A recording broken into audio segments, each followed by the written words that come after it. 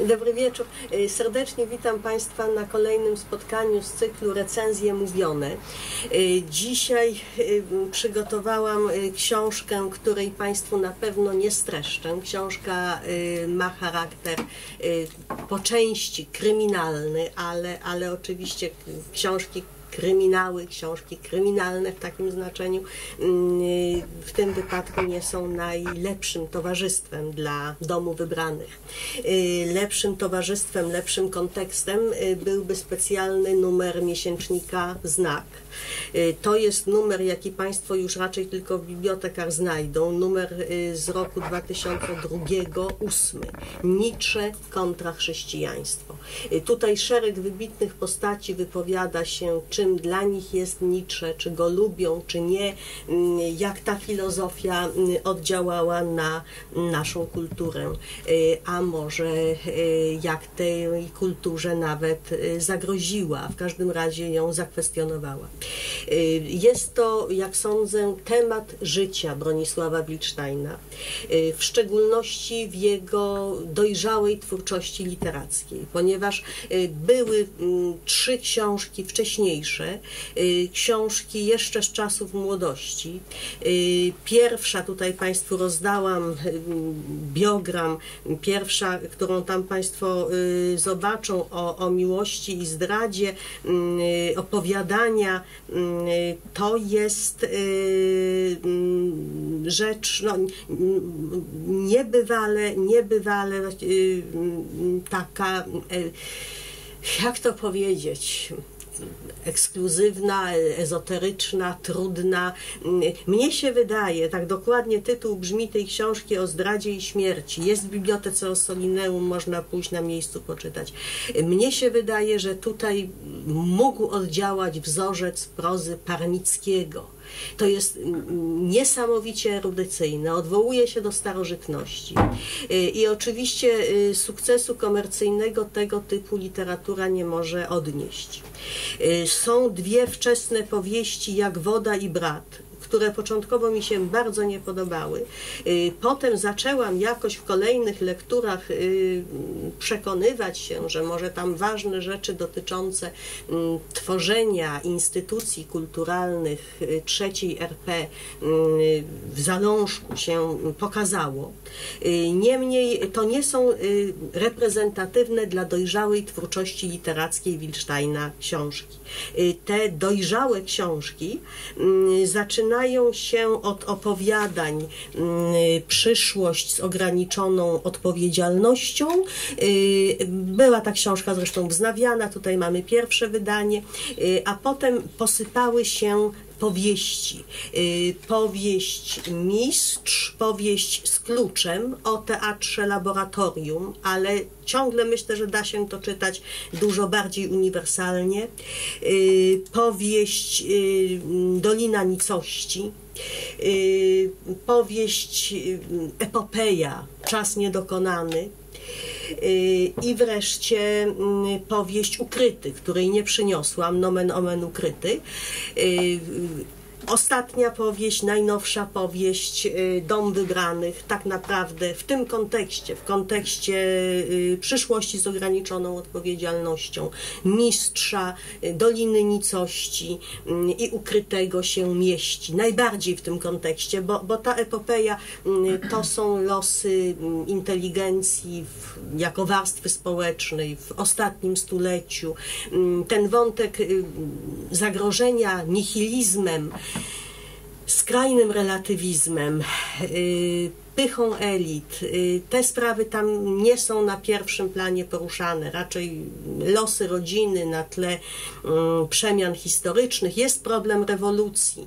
Y, Można tutaj przywołać tezę Alana Besansona, że mm, rewolucja, może przedtem francuska, przede wszystkim za naszych czasów y, bolszewicka, jest przejawem jakiejś gnozy politycznej, ale, ale to nie jest tak. Na pierwszym planie. Natomiast te, te powieści Dom Wybranych, Ukryty, Mistrz i Dolina Nicości to są cztery książki przestrogi przed nihilizmem, cztery książki antyniczeańskie, antygnostyckie także.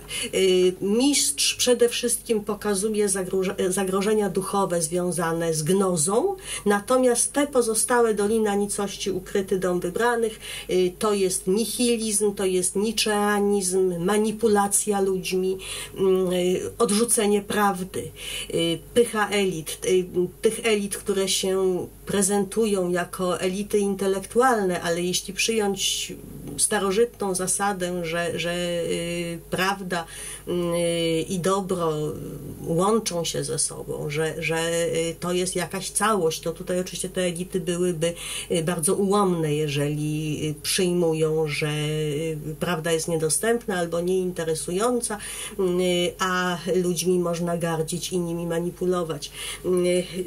Więc ten wątek kryminalny, o którym być może w jakichś reklamach książki można przeczytać, na pewno nie jest tutaj y, najważniejszy.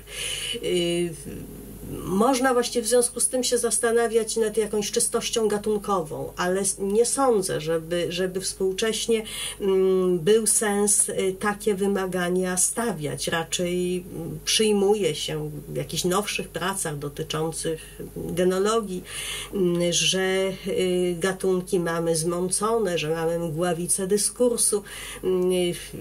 Nie oczekuje się tego, żeby, żeby realizować dokładnie wyidealizowane wzorce gatunkowe. Y, a więc trochę, trochę sensacji, trochę kryminału, ale nie o to chodzi. W gruncie rzeczy y, sądzę, że są to powieści filozoficzne. Mm, oczywiście pojawia się problem, kto ma cierpliwość y, brnąć przez kilkaset stron, y, mm, żeby przeczytać coś, co tutaj w profilach wieku, w wywiadach z wybitnymi myślicielami formatu Leszka Kołakowskiego y, zawarł Bronisław Wilczstein w bardzo precyzyjnie postawionych pytaniach. Na pewno te profile wieku powinny być wznowione. Kiedyś podczas spotkania autorskiego 这个 pytałam, y, czy nie dałoby się tego zrobić. Zdaje się, że umowa jest tak skonstruowana, iż powinniśmy porzucić wszelkie nadzieje. Y, proszę sobie rzucić okiem. Jeżeli ktoś y, chce mm, pożyczać te książki, to ja je wszystkie podpisałam. Można je sobie pożyczyć i po prostu przynieść mi na portiernię gdzieś tam do końca roku kalendarzowego, tak żebym mogła w czasie, w czasie przerwy świątecznej, w ostateczności w czasie ferii zimowych mm, jeszcze tę recenzję recenzję napisać.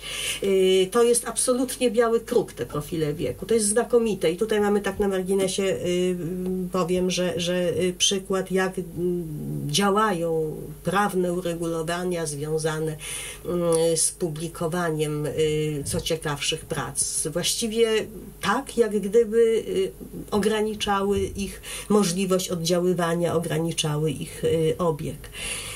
Mm, ale wróćmy do do naszych y, czterech, czterech książek. Y, te opowiadania, które powieści poprzedzały, y, mają różną problematykę, rozgrywają się w różnych środowiskach i ten ewentualny nihilizm, jaki tu się pokazuje, raczej daje się odczuć może nie tyle wśród organizatorów, mediów, biznesmenów, mafiozów, ile wśród najprostszych ludzi siedzących na prowincji przed telewizorem, tak przykutych do ekranu, że nawet nie zauważyli, kiedy ich pies y, sam się powiesił na łańcuchu, przeskakując przez ogrodzenie. Y, to jest bardzo drastyczny, symboliczny obraz, y, dosłownie symbol taki właśnie wieloznaczny, z tymi wszystkimi konotacjami, które się tutaj nasuwają ale jeszcze ta przyszłość z ograniczoną odpowiedzialnością y, nie jest, nie jest y, zbiorem powiastek filozoficznych. Jeszcze to jest taka obyczajowa proza, y, raczej pokazuje przemiany ustrojowe, ekonomiczne i wśród dziennikarzy, i wśród mafiozów, i na wsi, wreszcie wśród emigrantów niestroniących żadnym źródłem, od, od żadnego źródła zarób, zarobkowania. To jeszcze nie jest ten Wilstein naj, najciekawszy. Proszę bardzo.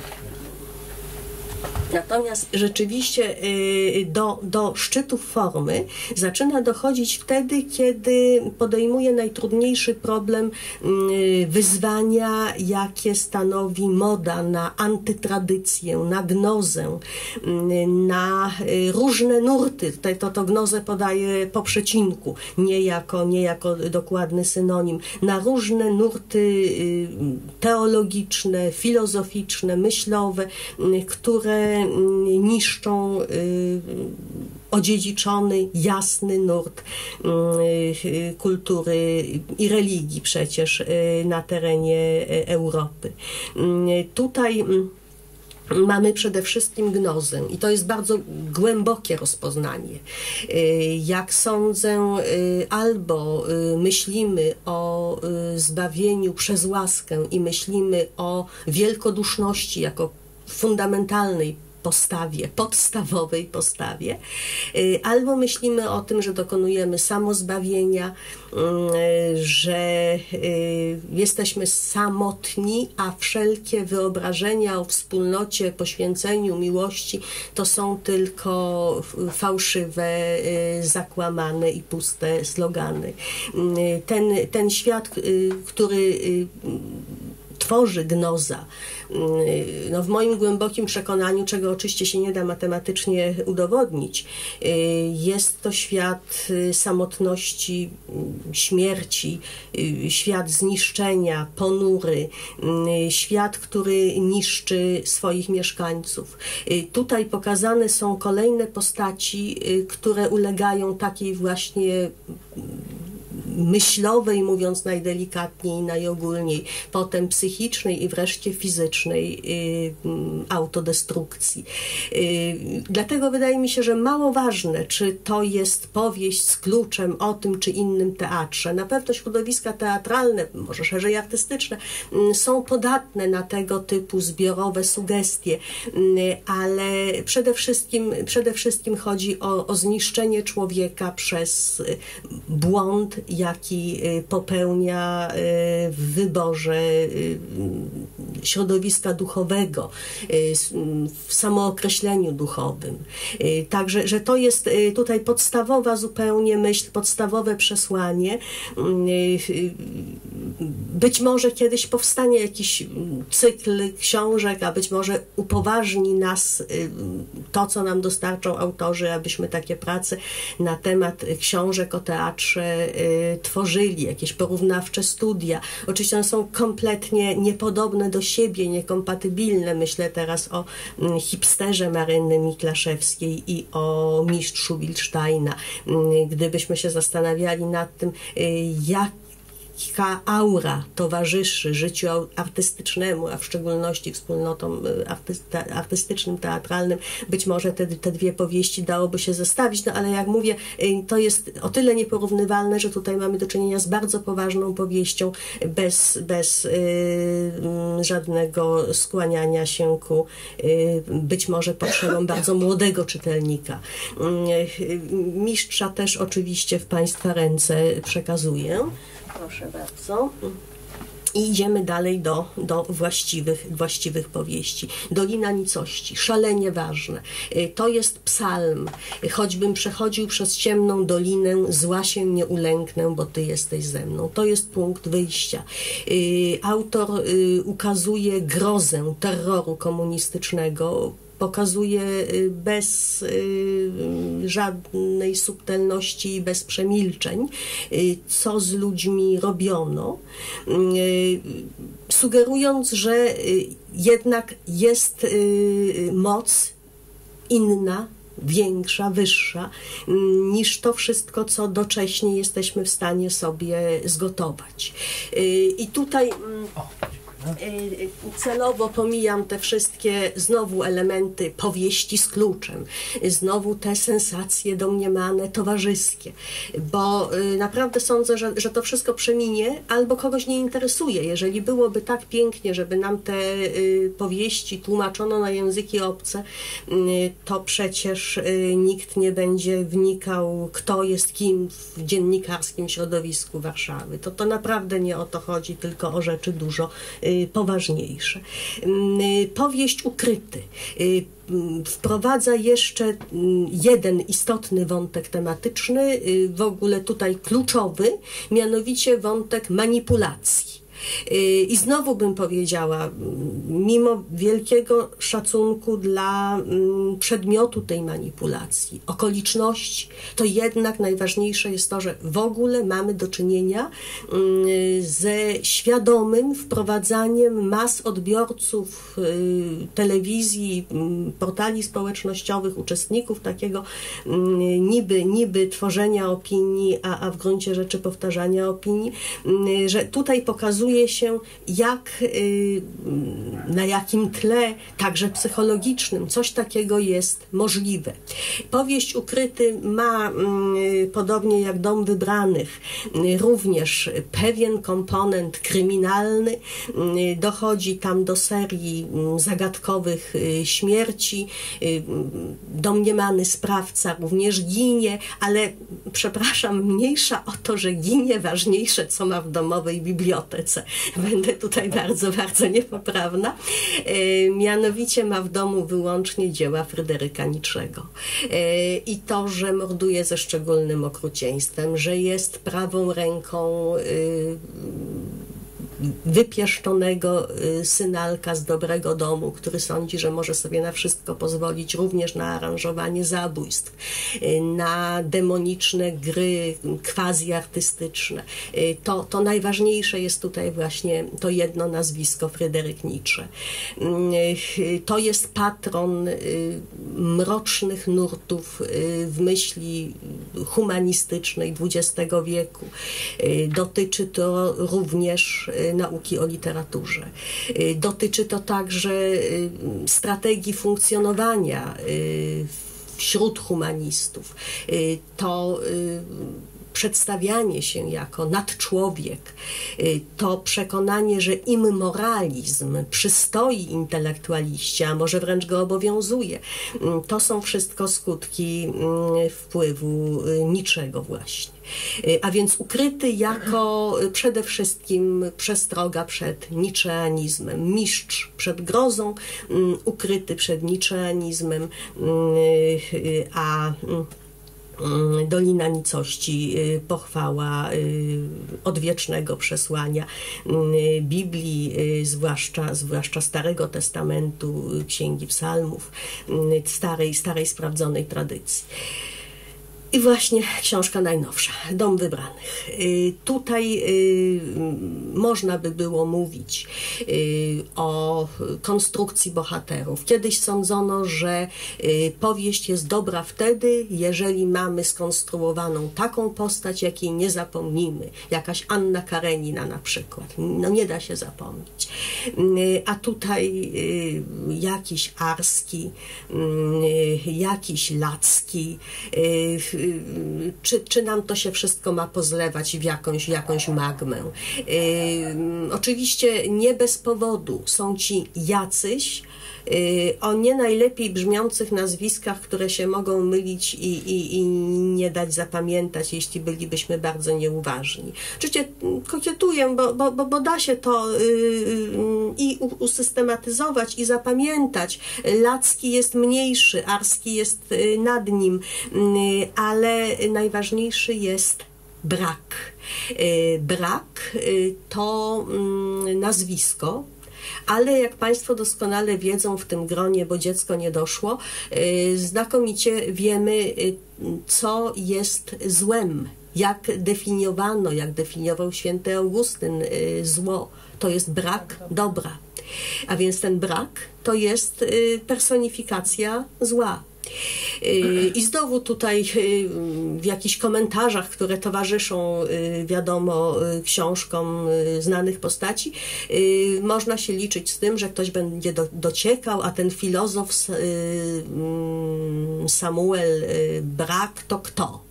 A jak na literę B, to kto? Y, ale to naprawdę nie jest, nie jest tutaj y, najważniejsze. To są przemijające sprawy, te sławy filozoficzne, które zostają w pamięci na, na stulecia. Mm, to jest Kant tutaj wymieniony, oczywiście Nietzsche, mm, przedstawiciele fenomenologii, ale, ale naprawdę ten czy inny postmodernistyczny filozof nie, nie jest tak tutaj bardzo y, istotny.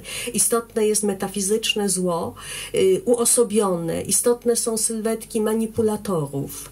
Y, Nietzsche y, miał twierdzić, że możemy tutaj widzieć w złu coś takiego jakby małpę Pana Boga, kogoś, kto naśladuje. I te dwie postaci, Samuel, Salomon, przepraszam, Samuel, Samuel, to Salomon to by było za dobrze, Samuel. A sprawdzałam znaczenia imion. E, więc Samuel e, i mm, e, Bruno Brak ojciec i syn y, nasuwają nam y, analogię z Bogiem Ojcem i y, Synem Bożym. Taka, taka to para. Samuel tworzy destrukcyjną filozofię, natomiast na jej kanwie Bruno, syn, manipuluje ludźmi. Y, ma oczywiście też te swoje kolejne szczeble wykonawcze, niżej jest jakaś mm, fundacja czy Instytut Wolności, y, gdzie się też y, pan o nazwisku Jakub pojawia te imiona są właśnie znaczące. Jakub, Samuel to mogą być władcy. Natomiast Bruno raczej, raczej tutaj jest mniej, mniej, mniej znaczącą postacią. Mniej to imię sugeruje władczość. Samuel i Jakub oczywiście, tak? Ja jeszcze właśnie myślałam, że dobrze byłoby poczytać księgę, czy, czy te dwie księgi Samuela, mm, że mm, dobrze byłoby tutaj y, precyzyjnie te ewentualne aluzje y, biblijne rozszyfrować. Y, książki Wilsteina są nasycone bardzo ważnymi aluzjami kulturowymi. Tutaj niech nas ta konwencja powieści z kluczem nie zwiedzie. Warto jeszcze, jeszcze poszukać dalej. Tutaj się sama muszę pokajać. Kiedy pisałam recenzję mistrza, wydawało mi się, że a Karmina Burana, a to coś średniowiecznego, a to chyba teatr Grotowskiego wystawiał. Niespecjalnie szukałam, a o muzyce nie mam pojęcia zupełnie.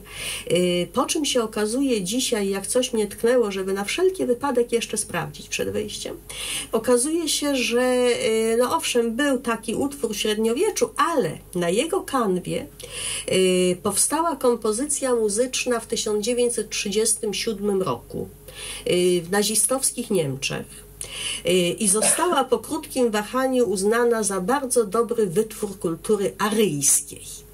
Y, I tutaj właściwie to pogaństwo, to antychrześcijańskie przesłanie obecne w kulturze nazistowskich Niemiec daje o sobie znać, więc nie przypadkiem, a o tym też u nas pisano wtedy, kiedy, kiedy powstawał mistrz, to nie było tajemnicą, że, że y, ta kultura hitlerowska była kulturą antychrześcijańską.